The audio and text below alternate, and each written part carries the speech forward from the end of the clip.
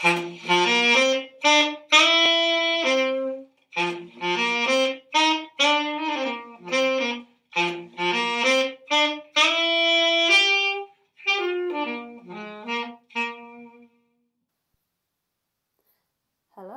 and welcome to today's special edition of the Kescast, uh, featuring two old Edwardians, myself, Sacha Wood, and Daniel Cooksey. We're going to be talking. Hello. Uh, we're going to be talking about the role of family in Shakespeare's The Tempest. Yes. Yes. So, um, the, the main reason we can read family into the play and the sort of um, pivot upon this particular reading is based is um, a particular line in scene uh, scene uh, Act Four, Scene One, in which Prospero, upon having consented to Ferdinand and Miranda's marriage, um, states to Ferdinand, I have given you here a third of mine own life, or that for which I live. Now, the, the use of the word third here is quite interesting because, We were trying to work out if Miranda is a third of his own life, what make up the other two thirds. well, yes, the fact that Shakespeare specifically specified a third as opposed to, say, a half or a quarter means that there must be exactly two other components to Prospero's life, presumably one of them being Prospero himself. Maybe. I argue definitely, but we'll move on from that point for now. Okay. Um, so, so what is the third third, as it were? The if if we have Prospero on the one hand and we have Miranda on the other, the, the self and the daughter of the self. What is the third constituent part? We were going with Ariel. Yes, yes, the third part. Ariel. Uh, Um, his servant, his magic, um, and certainly, yeah, in regards to servant, I mean, he has Caliban as a slave as well, but he's certainly fond of Ariel and respects Ariel, I guess. Conflating Maybe. Ariel into a, a family dynamic, as this quote seems to imply, is quite interesting in relation to that character on the basis that Ariel's gender is so ambiguous. Of course, Ariel has been played by male and female actors over the years. Mm. Historically, was played as a woman um, through. Well, originally, were pro- historically probably played as a woman um, for mo- until the early twentieth century. Um, I I'm think fairly certain that's correct. Was played certainly played mainly by female actors in um, the 7th, 18th Okay. and 19th centuries, Ariel was Ariel was originally played by a man, is what I have but as female, online. possibly. Oh, maybe that's the point. I'm fairly certain that there is some data that the actors who would have played Ariel in the productions on Shakespeare's Were lifespan like were all children, Young boys. Okay. which But then the- yeah, in in the 18th and 19th centuries, Ariel was exclusively a female role, yes, commenting on, um, I guess like Ariel's role of like subservience and things like that. yes. I mean, it Um, was a more conservative time. They had different attitudes, but Yeah. um, and then the And then beginning of the 20th century, changed. So this, it's interesting to fit Ariel into this dynamic, this um, familial dynamic, on the basis that we have a child and we have a father. So Ariel then becomes the mother. Okay. Can you explain um, why it is you think that Ariel fulfills this role of the mother? Okay, so if we're establishing Ariel as the sort of the additional third of Prospero's life, with Prospero being the father and Miranda being the daughter, then Ariel and in addition Prospero's magic, the two are kind of conflated in this particular metaphor, Mhm. are um, fulfilling the role of the mother in that they, in a butlerian sense, Just a quick note in post production to explain what Butlerian means. Ah, yes. Um, Butlerian refers to the um, theory of um, Judith Butler, who argues that gender is performative, something that is distinct from biological sex. A uh, someone can be male but perform the role of the female. So for Ariel to perform the role of the matriarch, the mother in Prospero's family dynamic, is not necessarily for Ariel to be female Okay. in a butlerian sense, in that they um, are objects of affection. They're something that Prospero is fond of, and something he treats as as being gives more respect and agency to than his daughter, but he treats them as objects nonetheless, as possessions of his. Furthermore, um, when Prospero is seeking advice uh, on an emotional basis, such as he does towards the end of the play, um, it is Ariel that he turns to. Ariel's realm is the realm of the emotional, which at this time would have been associated with a female, whereas Prospero's is the realm of the political and the material, which at the time would have been associated with the masculine. But then, can the servant role not exist as a role in the family by itself? I, I feel like servant implies a slightly um, a, more unequal power balance between Prospero and Ariel. Certainly, it is true that um, Prospero has power over Ariel, which he does exercise, and of course, Ariel is Mm. effectively Which would be um, the same. belongs to Prospero, but that would have been the same, for, the same for a wife. at the time. Yeah, and I but a wife is more power, to, uh, that has more power than a servant would do. and Whereas in this case, Ariel is given that extra power of the magic. So I would argue that Ariel kind of performs a dual role here. yeah, In that, um, in this um, familial dynamic, um, if if one third is Prospero and another is Miranda, the final third is Ariel and the magic that he embodies, which is not exclusively Ariel's magic, but also Prospero's magic. Mm. And this means that by the end of the play, we're then given a very it, the emotion of the conclusion is enhanced because for Prospero to give up his own magic and to let go of Ariel is to let go of the final third um, of his own life. of his own life. Now he is solely alone himself. His his family is destitute, destroyed. Mm. Though he gains back his dukedom. So this thing, yeah, this um, having given up a third of his own life, um, is the debate over whether this line is a sentimental line, or if his life is something more uh, political and possessive in this case. Kind of like when he says a third of his own life, it's the things he owns and the things which give give him power, kind of like in a will, like the kind of things that he can give away. Yes, yes. Um, so Miranda is not just, you know, his daughter, somebody he loves, somebody he lives for. But it's also, in a sense, something that he owns because he gives her away to uh, Ferdinand.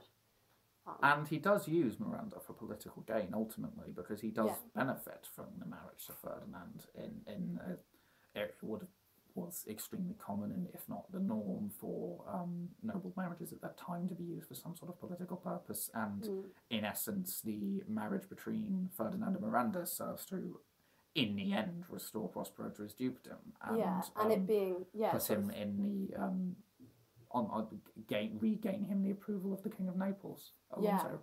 So it's Antonio, sort of- one of the two. this argument that um, the marriage being the you know the end point of the play, the sort of you know the conclusion, the point we're working towards, is you know Prospero has um, orchestrated the whole play, orchestrated the whole thing for this specific end point of political gain, ultimately. Yes. Yeah. And this certainly seems to be the terms in which Caliban regards this concept of the family as Mm. evidenced by his attempted rape of Miranda, which is motivated, as he puts it, by a desire to. Um, Yeah, it's not it's not a desire of necessarily love for yes, Miranda it's or to people this isle, Yeah. I believe he says, with his own offspring. yeah. and thus regain control of it, the family for him as a means of reasserting the political control over the island which he lost when Prospero arrived. And again, this goes back to that idea of um, absolute paternal authority in The Tempest. They completely dismiss any maternal authority, i.e., any um, claim that Caliban would have to the island um, through Sycorax having been his mother. Um, that is completely dismissed. Um, Yes, yeah, and that's interesting with regards to Miranda as well, who, um, of course, is, as aforementioned, essentially used as a political tool by her father. Admittedly, she does. she seems to exercise proactively, but Prospero's Mm. magic is very vague and mysterious. To what extent she is truly acting independently, and to what extent these are all instruments of her father's own manipulations are, it is Mm. very difficult to define. It's hard to draw that boundary. Um, yeah. But th- her Yeah, status as a woman, again, going back to the idea of um, uh, Butler's concept of gender being distinct from biological identity, is um, that Miranda doesn't isn't doesn't really fulfill a conventional societal female identity prior to her meeting Ferdinand. Yeah. Well, even I mean, it's that first meeting with Ferdinand, isn't it, where we really see that. We see how she is bold. Um, you know, the carrying of the logs, especially in the 2016 RSC production. Um, you know, she's not fulfilling any of the typical female. Um, you know, She's she's grown outside qualities. grown up outside of a society and without Yes. a society, and also it's crucially without no with no female role models. Mm. She has no idea how women are supposed to behave, so Yes. she has, in effect, no concept of gender as a Mm. thing distinct from her own sexual identity. She Yeah. knows that she is biologically female, but she has no concept of what it means to be socially female, Mm.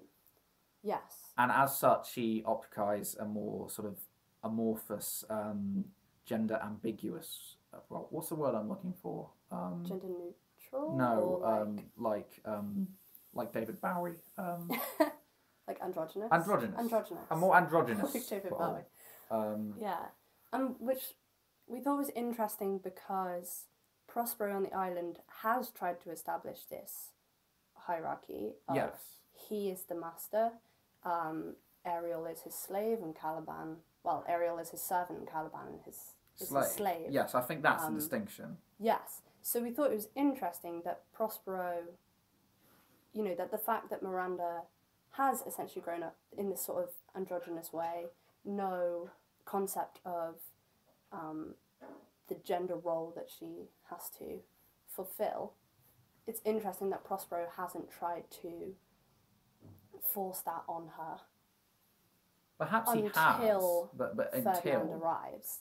Um, only then does it become strictly necessary Yeah. and convenient for him for Which- political purposes. Yeah, which shows how uh, gender roles, particularly for women, are only created to serve, uh, well, the patriarchy, a hierarchy, a But I also think it's hierarchy. indicative of a wider transition in the role of this um, family unit of Prosperos from, if not mostly sentimental, then at least partially sentimental to almost entirely political. Mm, In um, for, for, for Prospero to essentially, if he hasn't um, attempted to force this particular conceit of womanhood onto Miranda in the past, Mm. then for him to do so upon her meeting Ferdinand is a politically calculated move to make her an acceptable spouse within the um, mm, social circle which she and by extension he are about to re-enter mm, um, so that he can successfully re-accomplish his um, political re- reclaim his Mm. political position. I guess that Prospero has sort of presented her this, um, I guess, like a, a binary of um, how women should be, more like a moral binary, because um, there are two other female characters who are never, you know, they never appear in the play, but they're talked about, be, that being Sycorax and Miranda's mother, you know, and we, um, Prospero refers to Miranda's mother as a piece of virtue. Yes. Um, whereas, you know, the Sycorax is called a witch and evil and things like that. Um, Both of them are described in very two-dimensional specific terms. They're not really developed Exactly. as characters as so much as they are placed into specific female stereotypes by by, by men, Prospero. crucially. Yeah. Um, so yeah, Miranda grows up with no female um, role models, only having learned of these two sort of ends of the spectrum, these two sort of stereotypes. Yes. Um, yeah. and as such, he falls somewhere in between until re- returning to the um, returning to the conceit of this being a sort of transition from a at least partially emotional family dynamic to an entirely political one. Yeah. This then collapses and Miranda is forced into the female, or, or perhaps not forced into, but adopts the female role for Prospero's political gain, just as Ariel is abandoned um, Mm. and let free because again it, Well, it's, set free, yeah. it's set free. She ceases to serve any purpose, political purpose to Prospero. The, Mm. the, the game is over. Yeah, and um, yeah, because he gives up his own magic and sets Ariel free almost in one. Yes. It shows how they're linked, and um, but yeah, I think it says a lot about the role of the family in the Tempest. That you know, there's this this crucial thing. The catalyst is this action by uh, Prospero's brother. You know, yes. so it's all it's about family from the start, but Prospero, in essence, It's has always abandoned his about- biological family and created a new family of himself. He's found a new family for himself. well, but it's always about hierarchy. I know you don't It's- like I that, don't like the Tempest as a found family trope. It just doesn't. It's always about hierarchy. It's always about someone being at the top with all the power. Yes. Um. This is not an e- e- equal opportunity thing. Yeah. It's not family as something sentimental and equal and And certainly there is still room for um, post-colonialist and even Marxist readings within this um, within this schema, as it Hmm. were, um, in discussion of how those roles might relate to a sort of the the, glo- the global signifier of the family. Mm.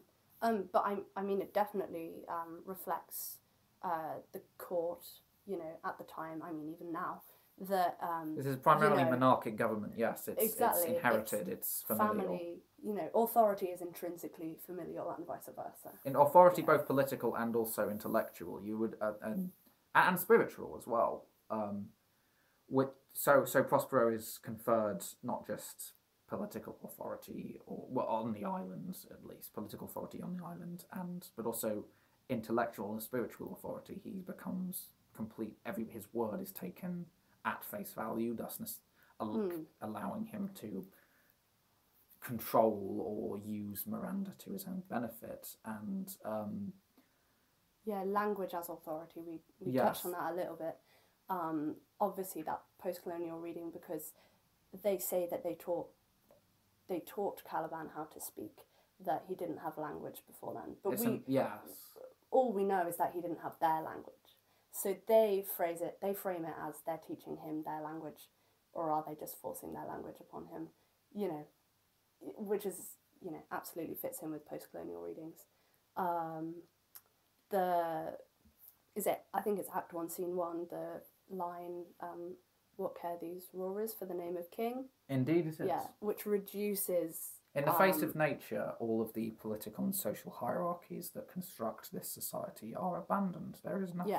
The island essentially becomes um, a sort of void in which all of these factors are um, Mm. abandoned, and all that's left is, or all, and it, it's left to Prospero to make make sense of that chaos, to Mm. provide some form of governance, and in that governance Yeah. is in a completely um, it, it, it, it it's it's suitable therefore that for to, to govern a completely wild and chaotic society without any of um, any any of civilization or society's Society influences Yeah. he resorts to the most basic and fundamental of all um, and in Of magic. uh, well, no, I mean the the family itself. Oh, uh, as family. like the, before there was government, there were small Mm. family units, and that's what he uses. Mm. So, in the absence of government, in the absence of technology, in the absence Yeah. of society, he resorts to humanity's most basic system of which Mm. is conventional family hierarchy. Uh, but ultimately, he fails. ultimately, he fails. Yes. ultimately um, nature you know is is the you know wins over these socially imposed hierarchies. but then, it, and only because he lets it, that. only because he leaves. but is that his choice because I think. He well, yes, it is because the end goal win. was always to return to society yeah and regain his Jupiter. mm, So I feel that yes, he does make some sense of it. His at least temporarily, his his colonization of the island, as it were, is successful. Whether or not that leaves the island in a secure state is another story. Indeed, most several productions have suggested otherwise. Most notably, the 1970 Mermaid Theatre production in which it was suggested that Ariel would take control of the island in Mhm. Prospero's absence, in a reflecting what often occurred historically in when the British Empire withdrew from its colonies and other empires of the early twentieth century. Um, Okay. yes, I think we've discussed a lot there. I think that's good. I think we have It's good. bumper episode. So Bumper episode of yeah, it's a Christmas special, but but, you've got it six months just a early, bit early. if not more. So Lucky you. lucky you. okay. Well, thank you for this. You are welcome. That's great.